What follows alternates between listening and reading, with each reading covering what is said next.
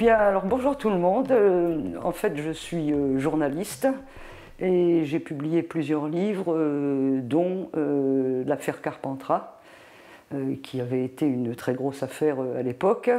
Et j'ai attendu très longtemps avant de me lancer dans l'écriture romanesque, puisque c'est mon premier livre. Alors, mon premier roman, pardon. Donc, c'est un roman dont le personnage est un solitaire il s'appelle euh, Amboise Morel. Il est gardien de phare. Il a vécu pendant 20 ans sur son phare sans jamais revenir à terre. Et euh, les phares euh, passant à l'électronique, il est obligé de revenir à terre. Donc il est confronté, après 20 ans d'absence, à une société nouvelle qu'il ignore, qu'il ne connaît pas, dont il ne saisit ni les codes, ni les violences, il ne comprend rien et euh, il est lui-même rejeté par l'ensemble de la population euh, qui le prend pour un personnage euh, peut-être peu recommandable.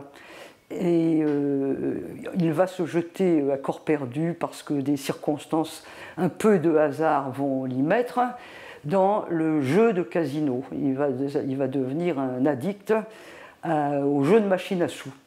Tout cela se passe, ça n'est pas vraiment nommé, mais disons dans le, sud de la Bretagne, et c'est l'histoire du glissement des passions. En fait, c'est ça qui m'a intéressé.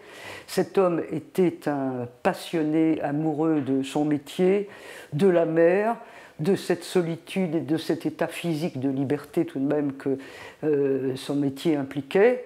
Et il va donc euh, doucement et douloureusement et insidieusement euh, glisser dans la passion du jeu, des machines à sous, dont on peut imaginer que ça va être une longue et très complexe histoire. Voilà, donc c'est la thématique du livre. Je dirais que pour un roman, plus que l'histoire elle-même, c'est l'écriture qui importe, ou au moins tout autant. Et pour cela, il faut se confronter à l'écrit.